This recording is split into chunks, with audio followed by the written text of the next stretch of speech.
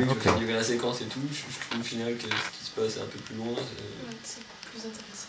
Putain, mais par contre, eh, mais, mais- enfin, putain, mais les étudiants en art, quoi.